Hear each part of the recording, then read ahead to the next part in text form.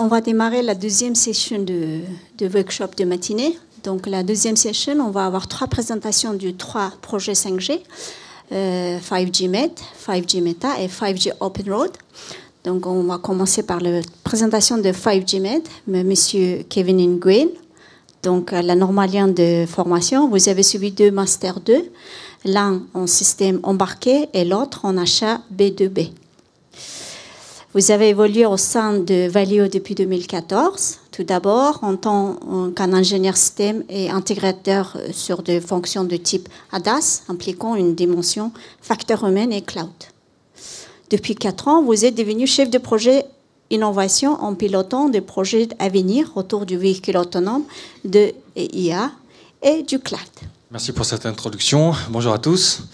Euh, merci aussi euh, de nous accueillir ici euh, dans le cadre de 5G Mobix. donc, je suis chef de projet innovation. Je vais vous présenter donc le projet que je gère pour Valeo, qui est celui de 5G Med. il faut noter bien que Med, c'est pour méditerranéen, puisqu'on va parler du corridor entre la France et l'Espagne, et non médical comme certains pourraient le penser. ça peut porter à confusion. Ah mince, je vais remonter, désolé. voilà. Donc, pour ce faire, euh, on va euh, suivre cet, agenda. On va tout d'abord parler donc, du projet en lui-même. Donc, c'est un projet européen. On va parler des différents cas d'usage que nous avons au sein de ce projet-là, les différents challenges aussi, et les travaux de Valeo au sein de ce projet-là. Et ensuite, on finira par des questions. je me trompe toujours. Hop, vers le bas. Très bien. Euh, du coup, euh, ce qui est très bien euh, aujourd'hui, c'est qu'on a une très bonne présentation ce matin de 5G Mobix, qui est pour moi un projet parent du nôtre. C'est-à-dire qu'on va utiliser pratiquement toutes les technologies qui sont développées ici au sein du, projet 5G Mobix. on a vu beaucoup de, différentes technologies qu'on a pu euh, voir sur, la 5G, autant les tests, euh, ça va nous servir pour mieux comprendre euh, ce, qui est, ce qui est fait au sein de 5G, 5G Med. Donc tout d'abord, on a des objectifs un peu divergents, qui est d'accord sur tout ce qui est mobilité donc terrestre avec donc autoroutier, avec tout ce qu'on appelle les SICAM, mais on a aussi un objectif sur tout ce qui est ferroviaire. Euh, ça, c'est aussi une particularité de 5G Med. Donc tout à l'heure, je vous parlais euh, de, du corridor France-Espagne. Donc c'est autour du Pertus. Euh, donc on a la plupart des, des, partenaires qui sont divisés entre donc, la France et l'Espagne. Donc on travaille conjointement avec des partenaires espagnols. nous avons Celnex qui est, chef de file. on a quelques données supplémentaires derrière pour parler de ce projet-là. Donc c'est un col euh, Horizon 2020 donc, euh, de l'Europe qui a débuté donc, en septembre 2020, donc qui est bien plus jeune que 5G Mobix.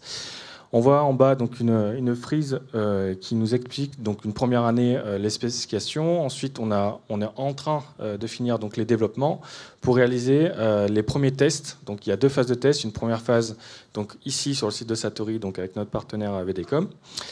Et ensuite, on retournera dans une phase de développement pour aller réaliser les tests sur le site euh, réel, euh, qui est donc, euh, on le voit sur, sur la carte, près de Perpignan. On voit aussi une, une, carte de couverture donc, des réseaux actuels de la 5G. Euh, on voit qu'il y a des trous. Et ça, c'est toute la question de comment on va résoudre ça dans le temps imparti.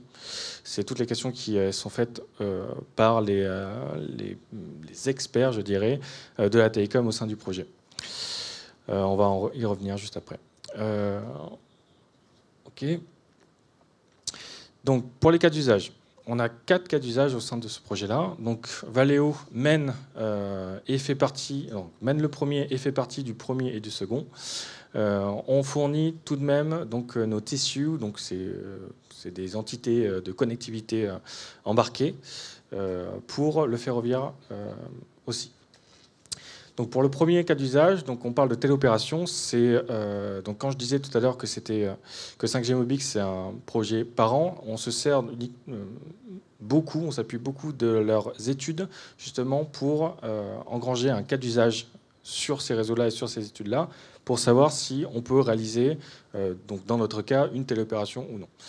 Euh, on va y revenir juste après, mais quand euh, tout à l'heure j'entends Oh, il y en a qui nous dit on va perdre pendant 20 secondes la connexion au réseau. Ça risque d'être difficile à première vue.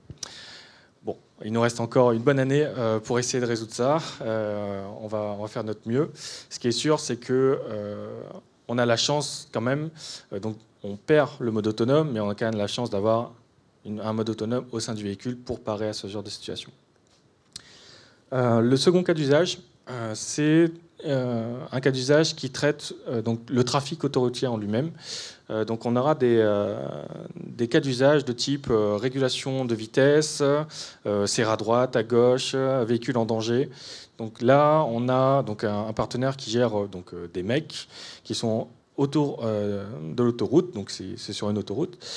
Euh, pour justement réguler ce trafic-là. Et on nous a demandé, donc avec notre véhicule euh, donc autonome, de suivre justement les instructions euh, sur cette autoroute pour ben, commencer le cas d'usage et faire des tests pour voir si la communication infrastructure et véhicule est efficace ou non.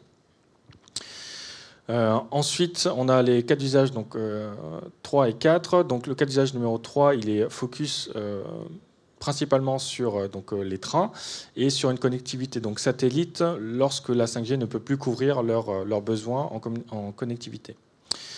Donc c'est principalement maintenir la connexion donc au, centre de contrôle des trains pour, en, toute situation et surtout dans le corridor. Et on voit qu'ici, donc, s'il y a un petit tunnel sur l'image, c'est pas pour rien. C'est simplement que au niveau de Pertus, il y a un tunnel très long où finalement le conducteur du train est seul. Et justement, c'est pour résoudre ces, problèmes-là. Ensuite, on a un cas d'usage donc euh, plus applicatif, donc d'infotainment, euh, où euh, ils ont besoin donc d'une grande bande passante pour des applications de type VR et des informations autour, autour du véhicule. Donc voici les quatre cas d'usage de 5G Donc ensuite, j'ai une slide sur les challenges, du projet. Donc, ces challenges sont définis donc, depuis le début du projet et ne changeront pas. Donc, il y a bien sûr la problématique donc, euh, du transfrontalier ou du cross-border en anglais, euh, qui euh, impose la problématique de changer de réseau. on n'a pas encore un réseau européen, je ne sais pas si ça arrivera un jour, mais pour l'instant, il faut, il faut faire avec.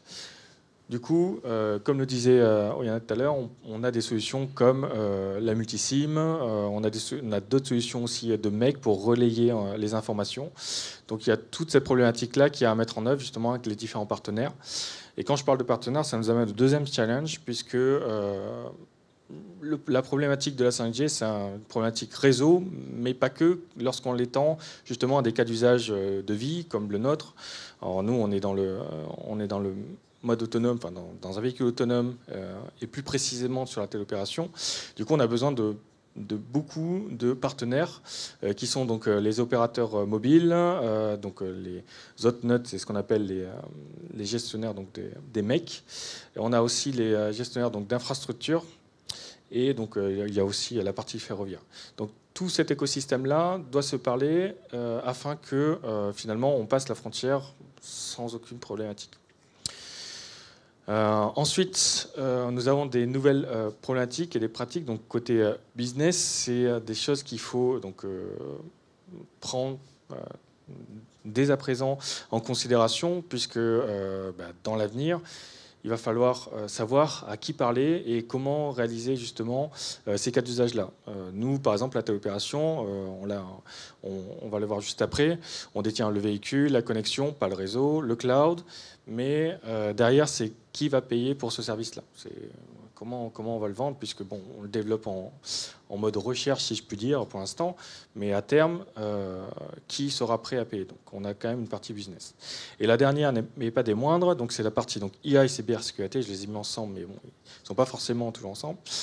Euh, c'est de penser euh, à comment sécuriser euh, ces cas d'usage-là euh, bah, qu'on veut de plus en plus performants, de plus en plus rapides, mais qui, in fine, a des problématiques de sécurité humaine. Euh, là, télopérer, quelqu'un dans un véhicule, c'est quand même une responsabilité que je pense qu'actuellement personne ne prendrait. ne prendrait. On voit très bien que la problématique des véhicules autonomes qui est responsable en cas d'accident, c'est pratiquement la même chose. Donc là, il faut savoir qui responsable, mais surtout s'affranchir de, ces problématiques-là en sécurisant tout le réseau donc de, bout en bout.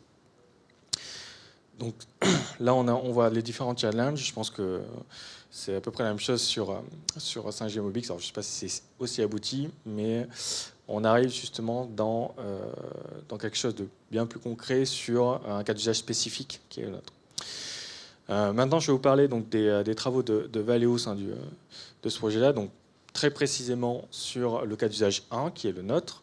Donc, au sein du projet, on l'a décomposé en trois services. Donc, en, communément, j'ai mis la description des acronymes, donc MRM pour Minimum Risk Maneuver. Donc, c'est une manœuvre de sortie de fonctionnement du mode autonome pour rendre le véhicule dans un environnement sécurisé. Je pourrais donner quelques détails après si vous, le souhaitez.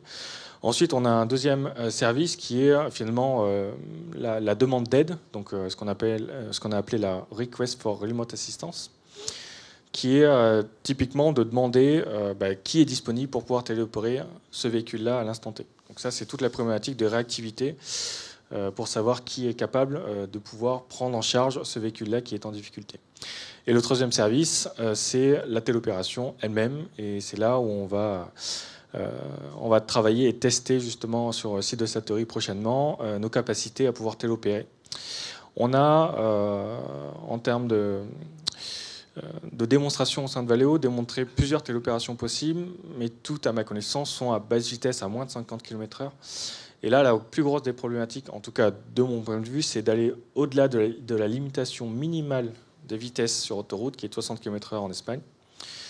Donc il faut absolument euh, assurer justement la connectivité euh, et la sécurité d'un véhicule à haute vitesse.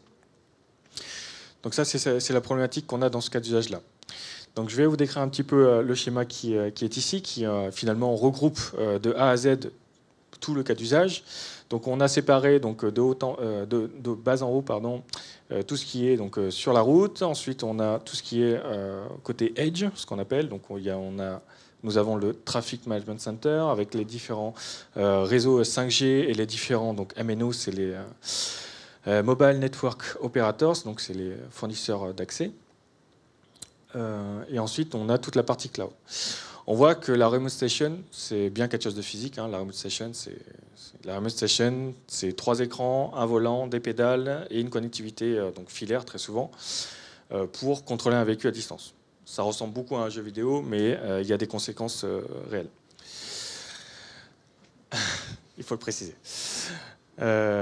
Du coup, on l'a mis dans le cloud puisque finalement, la connectivité à, ce, à, cette remote station n'est pas, négligeable, mais peut-être euh, largement réduite avec euh, la connectivité euh, filaire.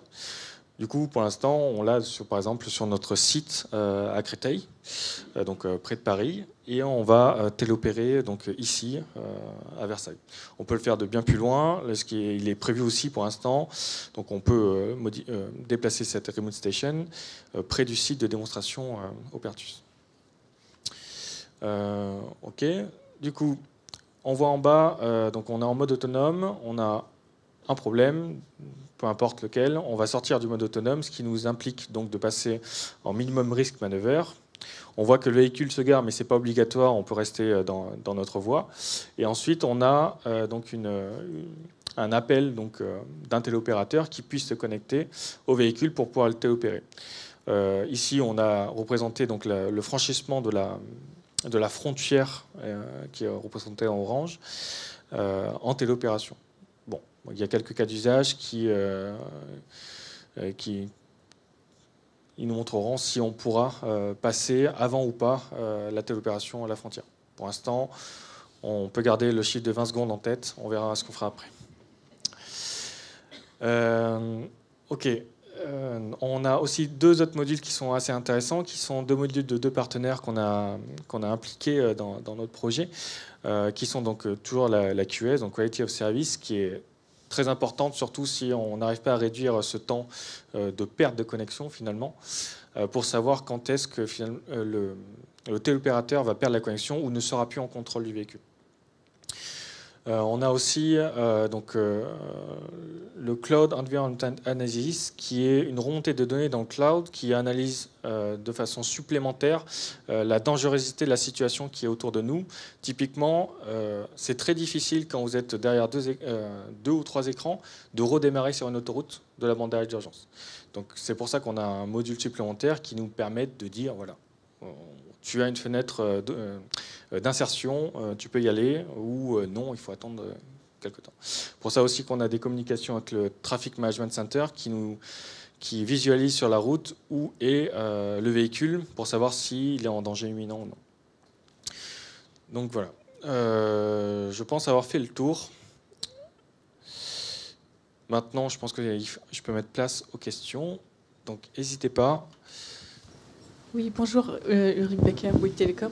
En fait, vous avez déjà commencé à lister les, euh, KPI dont vous aurez besoin pour la téléopération, débit, uplink, downlink, euh, Oui, on l'a fait. Euh, on, s'est aussi posé la question de pourquoi la 5G pour la téléopération. Ben, la réponse est très simple. Quand on connaît la nécessité de bande passante pour les capteurs à remonter dans le cloud, elle est de 10 à 100 mégabits pour donc 6 lidars et 8 caméras. Euh, donc c'est principalement euh, pour cela euh, qu'on a besoin de la 5G. Donc ça c'est un des KPI très importants pour nous. Ensuite il y a des KPI donc, de réactivité, de perte de contrôle sur, sur, le, sur la finalement. Savoir en combien de temps on détecte qui est en contrôle en fonction de quand on passe en MRM ou quand on passe en téléopération. Euh, donc ça, c'est un des KPI qu'on a. Euh, les autres KPI qu'on avait... Euh, pardon Et du coup, c'est combien? Deux. C'est combien, du coup, le, en millisecondes, la latence ah. C'est best effort Alors, d'une, la latence, on vise 100 millisecondes. C'est ce, qui est, qui est écrit dans, dans la 5GA, hein, un des documents, je ne vais pas dire qu'il fait foi, mais sur lequel on peut, s'appuyer. Euh, maintenant, nos tests euh, actuels qu'on a fait, on est entre 50 et 150 millisecondes. Ça dépend vraiment euh, de la position, de la, vitesse et du réseau. Oui. C'est très important de le préciser. C'est du end-to-end. On a eu justement beaucoup de discussions sur quelle était la latence d'un point de vue véhicule, automobile, on va dire, parce que nous, on considère la latence, donc ce qu'on appelle glass to glass. Euh, typiquement du processing de la caméra jusqu'au rendu euh, côté remote station, on nous a dit euh, oui, mais on pense à rafraîchir. Le end-to-end qu'on considère, c'est celui, c'est la donnée qui sort du véhicule et qui est reçue à la remote station. Donc c'est celle-là, la end-to-end.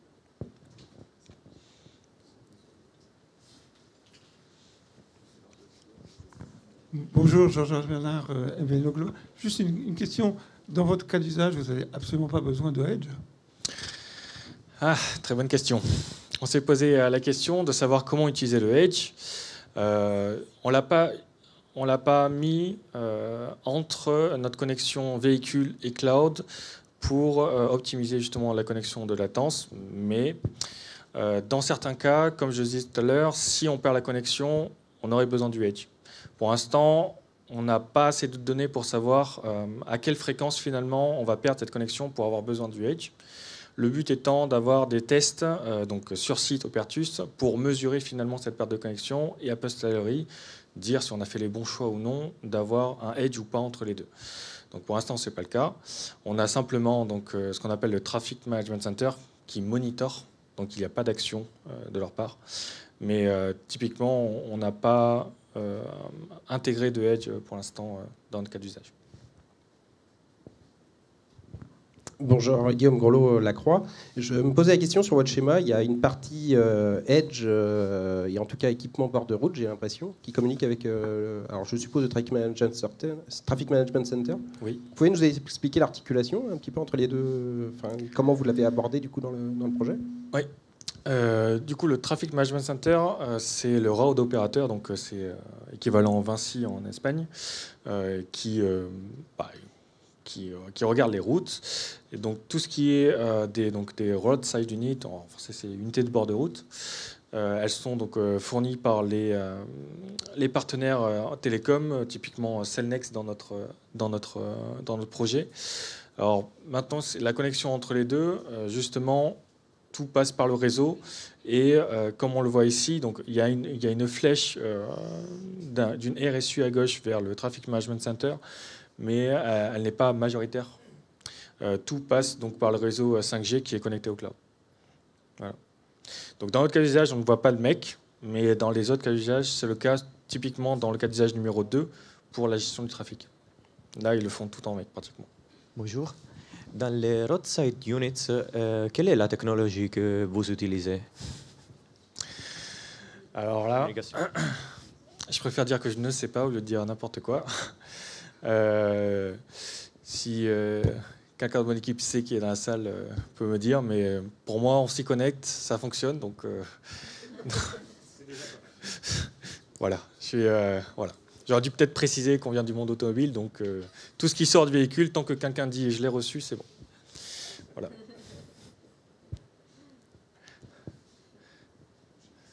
Désolé. je pourrais. Euh, Écrivez-moi un email, je vous enverrai la, référence. Je ne la connais pas par cœur. Notre prochain présentateur est M. Euh, Benoît Borance, qui va présenter le projet 5G Meta. Vous êtes titulaire d'un Master 2 en informatique. Vous avez d'abord travaillé à 10 ans dans le secteur de télécommunications comme développeur, puis euh, comme chef de projet dans le domaine de l'intelligence artificielle appliquée à la gestion des réseaux. Vous rejoignez ACA, bientôt ACODIS, je ne savais pas, à Toulouse en 1999 euh, euh, en tant que chef de projet. Depuis 2015, vous pilotez le département de RD d'ACA en Occitanie et le programme lié aux technologies de l'information et des communications appliquées à de nombreux secteurs industriels. Merci Yuna pour l'introduction et euh, merci à VDCom de nous accueillir euh, dans ce site euh, toujours très agréable à, visiter. Donc effectivement, nous avons été, nous sommes toujours partenaires du projet 5G Mobix avec VDCom. Et je vais vous présenter un projet fils encore, comme disait Kevin, de, de 5G Mobix, qui est le projet 5G Meta un projet européen également qui a commencé euh, en même temps que, les autres, toute cette série de projets 5G en septembre 2020. Un projet qui lui aussi a été fortement impacté par, le, par les problèmes de pandémie, de, confinement euh, des différents pays euh, participants dans le projet. Ce qui fait qu'on a un calendrier un petit peu décalé par rapport à ce qui était prévu au départ. Euh, je vous présenterai d'abord donc euh, le contexte du projet, pourquoi ce projet existe, les, challenges qu'il essaye d'adresser, euh, comment on essaye, quelles sont les solutions qu'on essaye d'apporter à, ces, challenges et les cas d'usage illustratifs que, l'on a intégrés dans ce projet pour montrer comment le développement de la plateforme que nous faisons dans, ce projet pourra être utilisé, pourra être pardon, sur, sur différents euh, cas de, mobilité connectée et automatisée. Alors, euh, on a parlé depuis ce matin, euh, les véhicules sont équipés de plus en plus de capteurs, les unités de bord de route aussi, ces capteurs remontent de l'information via le MEC, via le, le, cloud de proximité donc, et vers le cloud. Euh, l'idée, euh, le constat, c'est que euh, finalement les, revenus des constructeurs dans l'automobile vont être plutôt en baisse à long terme, mais les services qui, vont être développés autour de la connectivité et sur l'exploitation des données remontées par tous ces équipements euh, représente quand même une source de revenus potentielle euh, estimée. Alors là, bon, j'ai pas cité la source là, mais bon, les cabinets de conseil euh, sont capables de, sortir des chiffres d'estimation à 30 ans qui sont dans l'ordre de grandeur énormes. De plus, euh, vont se greffer, vous, en utilisez certainement déjà sur vos smartphones, des applications euh, de mobilité qui cherchent à exploiter euh, ces données autant que possible pour créer de nouveaux services. Donc tout un, écosystème de start-up, de PME qui se développe autour de, l'exploitation de ces données. le problème, c'est que ces données-là, à qui elles appartiennent? Est-ce qu'elles appartiennent aux constructeurs automobiles? Est-ce qu'elles appartiennent aux fournisseurs d'équipements? Aux opérateurs de, routes, d'autoroutes, comment les, valoriser, comment les vendre, entre guillemets, et de ce de façon standardisée, pour, pour pas qu'on retrouve un, petit peu les mêmes applications, qu'on passe d'un véhicule Renault à un véhicule PSA. Euh, pour euh, les standardiser et bien sûr utiliser ces données avec confiance en, mettant en place des, des, architectures et des solutions garantissant la sécurité euh, et une certaine transparence sur, sur l'origine de ces données, leur qualité, etc. Voilà un petit peu le contexte qui a amené la création du projet 5G Meta qui se posait la question, donc, comment monétiser ces données provenant des, véhicules, d'infrastructures connectées, euh, au profit de nouveaux entrants et nouveaux acteurs, donc PME, start-up, et montrer comment la 5G, finalement, euh, de par euh, les, différentes l'architecture qu'elle propose et les, capacités des réseaux qui, sont proposés par les opérateurs, va faciliter cet échange de données et cette exploitation des données. Euh, donc nous répondons à un programme de, la Commission européenne, euh, le call ICT 42, pour, euh, pour, noter les éléments techniques. Euh, on a démarré en septembre 2020 et nous devons finir début 2024. Le chef de file est Vicomtech, un, un institut semi-public de recherche aussi en Espagne, à Saint-Sébastien. Euh, on retrouve dans, l'écosystème du projet euh, différents types d'intervenants. Hein, euh, des, intervenants qui vont, fournir des éléments d'infrastructure, hein, des, unités de bord de route capables de remonter de la vidéo, de, la mesure de pollution, de tout un tas d'indicateurs. Euh, un opérateur euh, Wintray en, Italie, bien sûr, qui, nous assure euh, l'expertise 5G sur, sur, le projet. Un Tempora qui, représente un petit peu les, les, OIM qu'on peut retrouver dans l'écosystème. Un Tempora qui est d'ailleurs l'éditeur du, logiciel RT Maps dont Yuna a parlé ce matin. Euh, Lynx et VDCom, Vicomtech en, en tant qu'institut de recherche, bien sûr, sur, euh, les, nouvelles euh, mobilités. ICOR, qui est un regroupement d'universités italiens. ACA et DECRA en tant que fournisseur industriel. Et bien sûr, l'orchestration éclairée par Ertico, cluster européen sur les systèmes de transport intelligents. Euh, alors, nous, on aura trois sites euh, de test pour les, différents use cases que je, vais vous présenter tout à l'heure. Euh, mais on s'appuie aussi sur, sur des incubateurs de start-up qui sont connectés au projet, différents clusters qui vont nous aider un petit peu à, identifier justement dans l'écosystème qu'est-ce que recherchent ces PME, ces start-up pour l'exploitation des données de connectivité de la mobilité. La plateforme 5G Meta que l'on cherche à, développer euh, doit fournir de nouveaux services qui vont euh, permettre euh, le développement de nouvelles, applications et de là donc créer une sorte de chaîne de valeur de, ces données pour les producteurs de données eux-mêmes.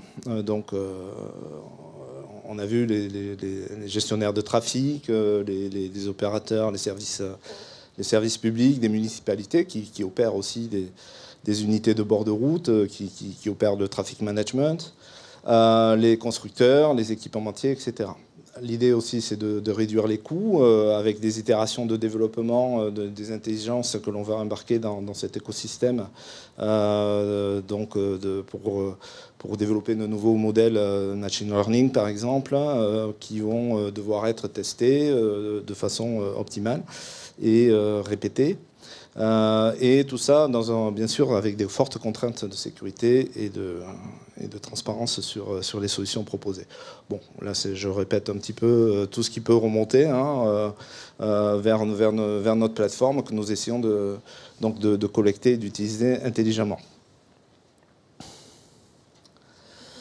Euh, on va essayer de bien sûr de s'appuyer sur des solutions standardisées. Le but c'est de pouvoir répliquer euh, forcément les services que l'on propose dans cette plateforme euh, pour, différentes configurations en, s'appuyant bien sûr tant que possible sur, les, standards, sur, le CAM, sur, les, développements et sur l'architecture MEC proposés et standardisés, notamment par des, organismes comme euh, l'ETSI.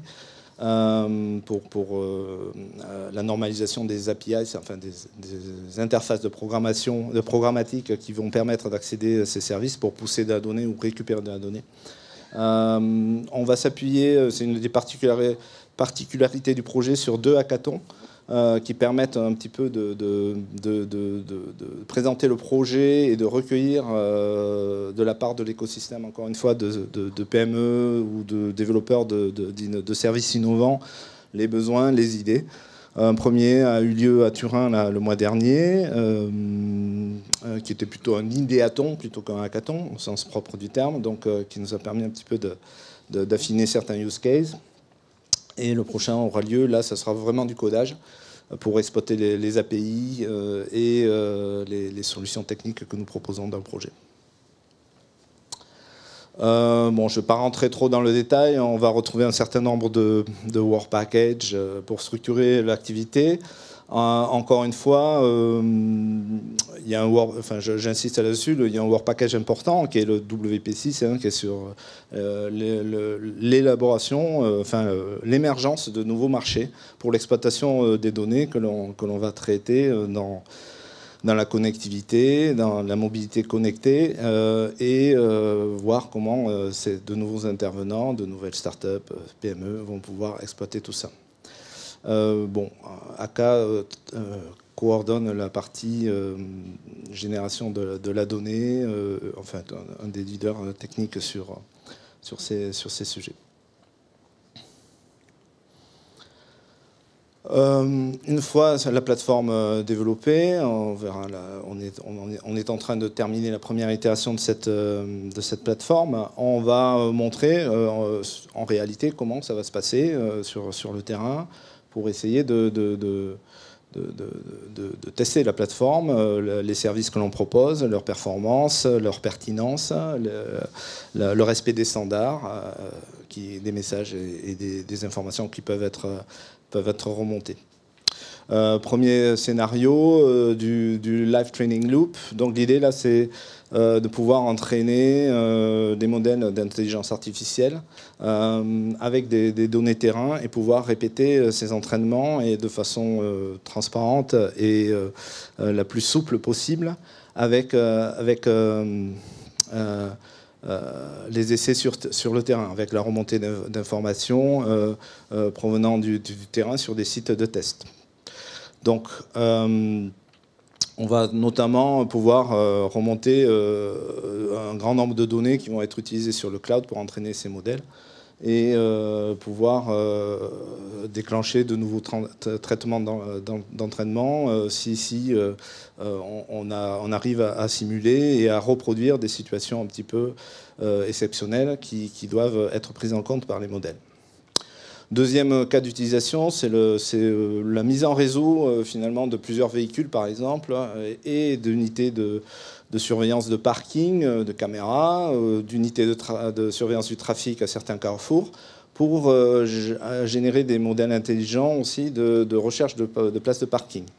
On va utiliser la vidéo remontée par les véhicules dans une, région, par exemple euh, pour un événement particulier, un match de foot, euh, les gens qui viennent se garer sur, des grands parkings, euh, qui cherchent des places dans, les rues attenantes. Comment utiliser, on va les, vidéos, remontées des véhicules, encore une fois des intersections, etc., pour guider et, améliorer la navigation des véhicules sur, sur, sur cette zone. Euh, là, on a, des gros besoins de, de, bande passante. Donc, euh, on va surtout s'appuyer sur, sur, euh, le MMTC de, de l'architecture 5G, des services 5G, pour pouvoir répondre à ce, type de, cas d'utilisation. Troisième euh, cas d'utilisation sur euh, bon, des sujets de latence qui sont pertinents en particulier pour, pour des événements un petit peu liés à la sécurité et, et à la, perception des systèmes connectés, des véhicules connectés sur, sur des zones dangereuses ou qui, qui, peuvent répondre à des situations d'urgence quand, il, quand il le faut. Voilà donc en quelque sorte les capacités, les, trois use cases euh, ou les capacités de, la 5G vont être euh, mises à l'épreuve et vont permettre finalement de mettre en œuvre ces use cases euh, s'appuyant sur, sur, la plateforme que nous développons. les jalons que nous avons, donc c'est une première version opérationnelle de la, de la plateforme, donc restez connectés comme tous ces véhicules pour qu'on vous, tienne au courant de, des des avancées techniques et des possibilités que vous avez vous aussi de, regarder les livrables que, l'on va produire dans, le projet, que, dont la plupart sont publics. Un deuxième hackathon en mai où on va euh, justement réunir un certain nombre de PME et de start-up qui vont tester la plateforme euh, et développer des, prototypes de nouveaux services s'appuyant sur, sur, sur, ces données-là. Cette plateforme qui va notamment euh, fournir des informations sur la qualité des données, qui vont permettre de mettre en œuvre des, des, euh, modules de billing, hein, donc de, facturation de la donnée, euh, pour pouvoir, pour que les producteurs de données puissent mesurer la quantité de données qu'ils fournissent à des consommateurs et donc gérer cette, ces aspects-là. Euh, ces espaces de travail, ces, canaux de communication. La plateforme ne stocke pas de la donnée, elle est un relais euh, finalement de la, de la, donnée remontant des différents capteurs euh, vers le cloud. Et la version finale opérationnelle de la plateforme qui sera ouverte en juillet 2023. je pense que j'ai terminé. Donc les questions, vous pouvez euh, me les poser maintenant ou par mail si, vous le désirez. Au déjeuner, je suis là.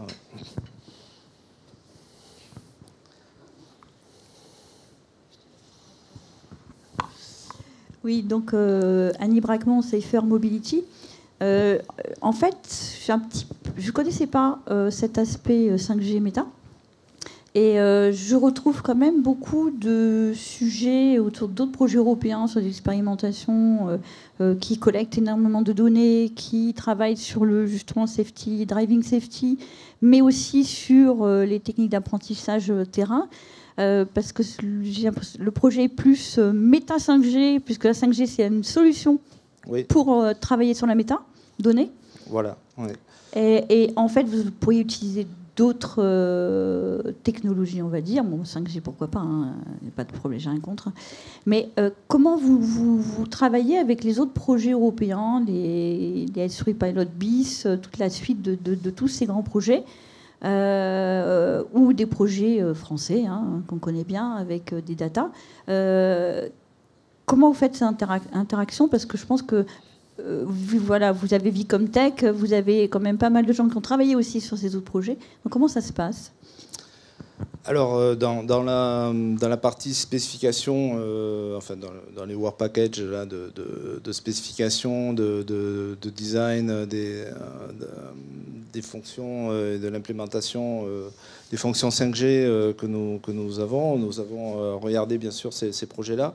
Alors, pas forcément à cas, bon, là je ne suis pas capable de, vous dire, moi, la liste des projets qu'on a regardés par cœur. Euh, mais effectivement, on s'appuie sur, sur, des partenaires comme Vicomtech ou VDCom pour, euh, pour remonter euh, ces informations. Alors après, la 5G va, va, nous permettre de, remonter de, grosses quantités de données, de bénéficier de latence pour, pour des use cases particuliers. le but du projet, c'est n'est pas effectivement de tester la 5G en termes de performance, hein, c'est d'utiliser les services, les capacités à 5G pour pouvoir récupérer cette, ces données, donc mettre en place des flux de transfert de données, de fusion, de mise aux normes, euh, sur, des, modèles d'information communs, euh, et au final de, proposer des API d'accès euh, ou de, push de données, enfin d'insertion d'autres données pour faire de la corrélation de données, notamment pour, pour des systèmes, pour des systèmes experts ou de, l'intelligence artificielle, pour, pour les algorithmes de machine learning. Donc c'est cette infrastructure, on va dire, de, services que le projet essaye de développer. Après, euh, là, je ne suis pas capable de lister euh, de tête euh, tous, les, tous les projets qui, nous ont inspirés ou les résultats de projets qui qui, ont inspiré les différentes phases de conception. Mais je pense qu'il y, a, deux, trois projets, deux, trois livrables publics du projet qui, je pense, peuvent, peuvent donner le détail de ces analyses et ce qui a été récupéré.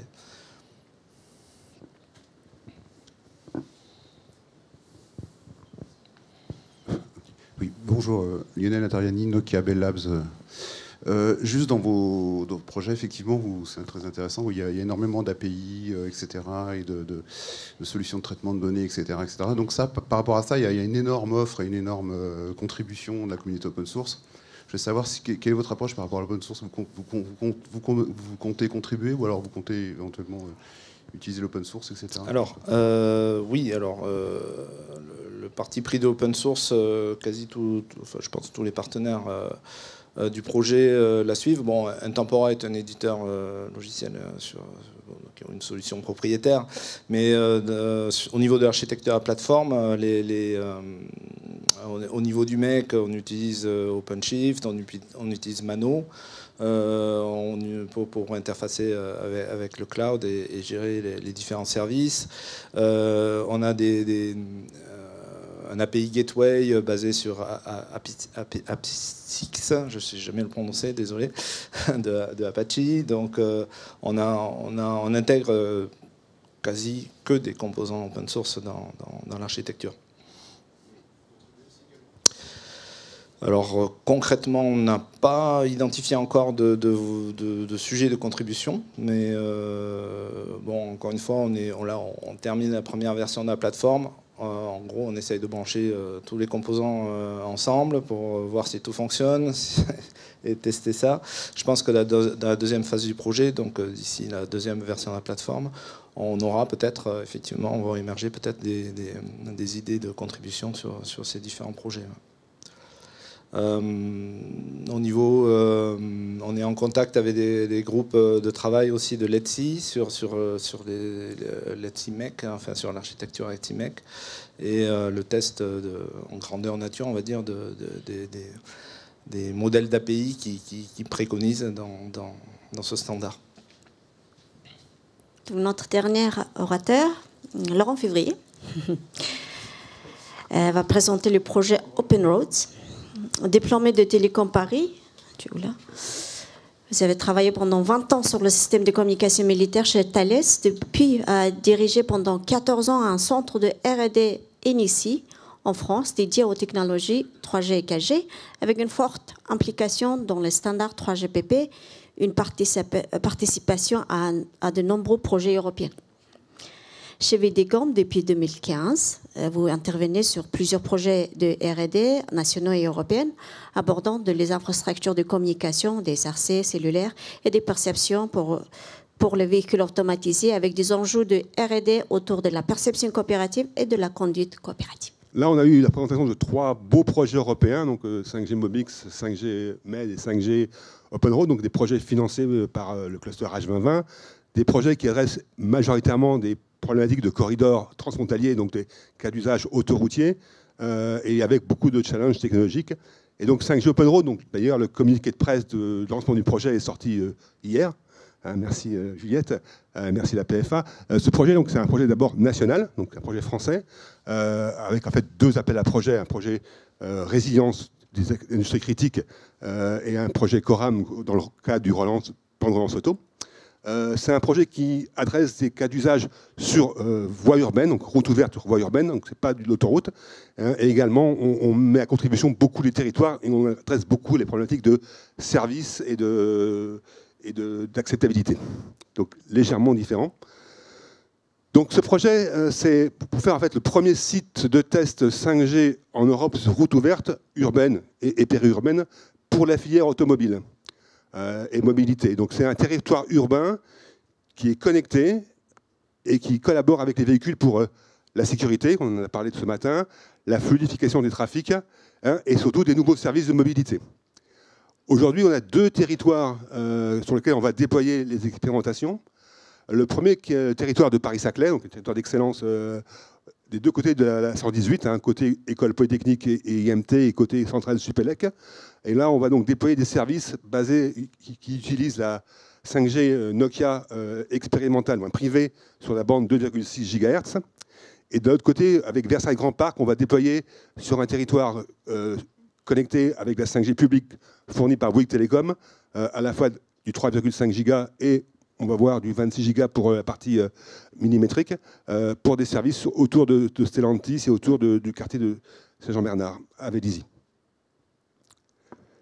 Donc, je disais, des composants du système, c'est effectivement d'abord un territoire connecté. Donc, ce qui est important, c'est que si on, pense une, architecture de bord de route, une infrastructure uniquement pour aider le véhicule autonome, c'est pas, pas rentable en fait économiquement.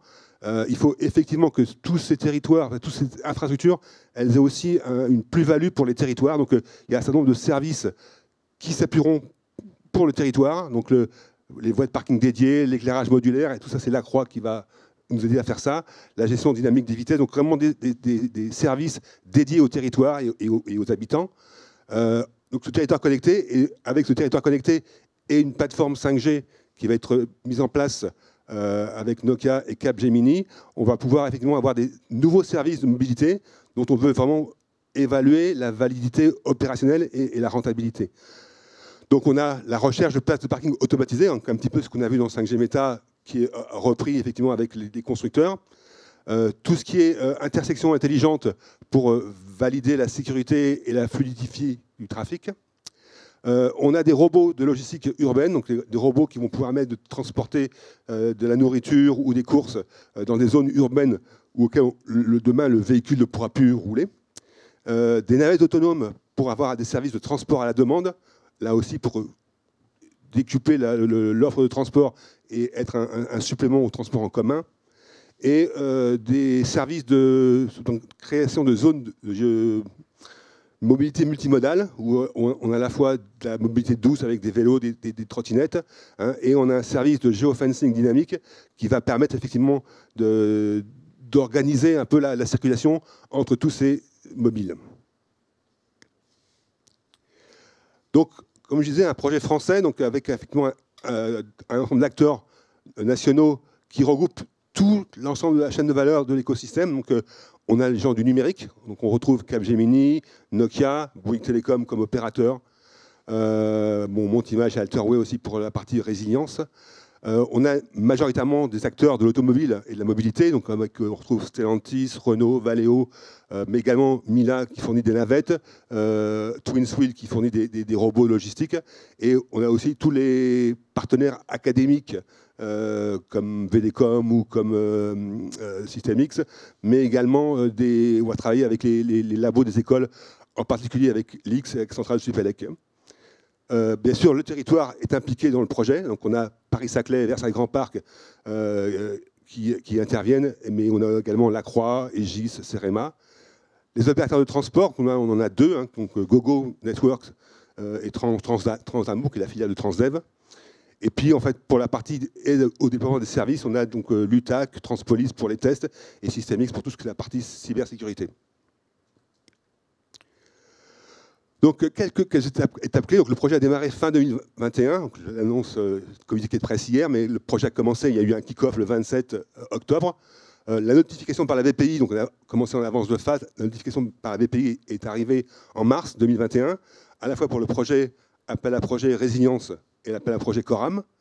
Hein, et l'accord de consortium a été signé par les partenaires euh, très récemment. Euh, donc on, démarre vraiment, même si on a un peu anticipé la partie conception, on démarre vraiment aujourd'hui. Hein, mais on veut aller assez vite avec des premières étapes qu'on veut démontrer avant la fin de l'année, hein, qu'on appelle les quick wins. et donc on a quatre quick wins aujourd'hui qui sont euh, identifiés.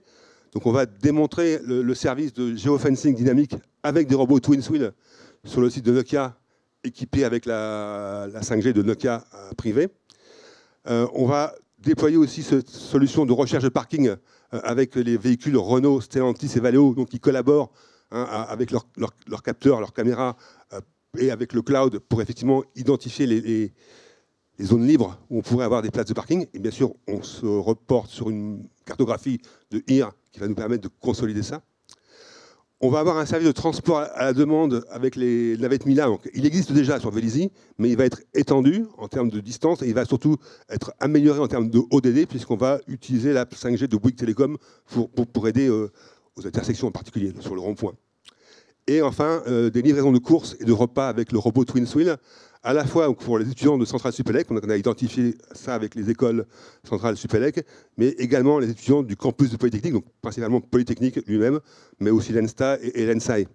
Donc ces quatre services, hein, on va les expérimenter déjà cette année pour montrer leur validité, hein, et on a une perspective, après on va déployer plus de services sur les zones, et on a une perspective de déploiement opérationnel à l'horizon 2024, donc pour les Jeux Olympiques, hein, donc effectivement avoir une plateforme qui après puisse être reproduite sur d'autres zones, comme par exemple euh, le Grand Paris ou même en, province et même demain à l'étranger.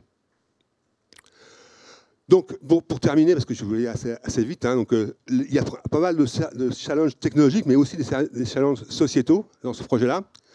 Donc, bien sûr, le premier, c'est comme on a vu avec 5G Mobix ou avec 5G Med, c'est démontrer les bénéfices des différentes composantes de l'architecture 5G pour la filière automobile et sur la base des spécifications du 3GPP et des recommandations 5GA. Donc on va effectivement regarder un peu les aspects de 5G, nouvelle radio, en termes de débit, latence, fiabilité. Le 5G millimétrique, euh, il y a une vraie question sur quels sont les cas d'usage pertinents pour l'automobile. Hein. Est-ce que c'est le déchargement de données de, de, test Est-ce que c'est le chargement de cartes euh, HDMAP en temps réel? Donc il y a vraiment à réfléchir sur quels sont les cas d'usage pour le 5G millimétrique. Euh, les problématiques d'architecture réseau, donc avec le, MEC, on en a parlé, euh, la virtualisation du corps avec l'user plane function, qui va permettre effectivement d'accélérer le, transfert des données euh, entre les différents utilisateurs. Bon, le 5G, la, 5G SA avec la release 16, et peut-être qu'on aura la release 17 avant la fin du projet, pour effectivement voir les apports que ça fait avec l'URLLC en particulier sur la latence. Et puis le size automotive, on en parle beaucoup, mais qu'est-ce qu'on peut faire avec ça? Comment on le fait? Donc il y a vraiment déjà démontré en termes techno les bénéfices pour la filière automobile. Euh, bon, un point que j'aime beaucoup, c'est effectivement c'est validé par l'expérimentation, la faisabilité de l'architecture de référence et CITS avec l'architecture 3GPP. Donc il y a la littérature. Hein. moi, j'ai essayé de monter deux projets ANR en 2015-2016, on n'a pas réussi à les avoir, mais c'est vraiment un, vrai challenge. Hein, ce, ce V2X serveur, V2X client, est-ce que demain ça va vraiment marcher? Est-ce que dans une voiture, une télématique, vous allez avoir un vrai client V2X Et puis bon, le CV2X, donc euh, qu'on attend aussi 2022-2023, euh, Qualcomm annonce des chipsets euh, très très bientôt pour effectivement voir si on peut avoir en plus de l'interface unicast cellulaire, une interface en mode direct avec le CV2X. Un, challenge aussi, c'est d'évaluer les différentes options de répartition hardware et software entre embarquer véhicule et débarquer infrastructure mais qui permettent quand même de respecter le standard, les exigences de l'ISO 26262, parce que c'est bien beau de dire on, fait tout dans l'infrastructure, euh, la, perception va commander la voiture. Euh, il faut quand même que les, challenges, la référence 26262, elle soit respectée. Donc il y, a aussi là beaucoup de choses à, regarder par rapport effectivement à ces quatre cas d'usage ou cinq cas d'usage définis dans, le projet BP, donc euh, la perception collaborative, la conduite assistée ou la conduite collaborative, la téléopération et le platooning. Et puis la QES, la QES, je ne sais pas s'il y a des choses à regarder. Et après, aussi, c'est important, c'est de s'assurer de l'acceptabilité des services et des technologies qui le supportent, ainsi que la pertinence socio-économique et énergétique des services et des solutions. Alors, il y a un grand débat sur la frugalité euh, énergétique de la 5G. Hein, on dit on consomme beaucoup moins d'énergie pour transporter un élément binaire, mais on va quand même en transporter beaucoup plus. Donc, où, est-ce que ça se situe et comment on peut effectivement avoir une parce que c'est un vrai souci, euh, une vraie pertinence énergétique en déployant la 5G. Donc voilà un petit peu, donc je ne veux pas dans le détail sur les, solutions techniques, on est vraiment au début, hein, mais on va vraiment adresser ces problématiques-là hein, avec un, cadre de projet français.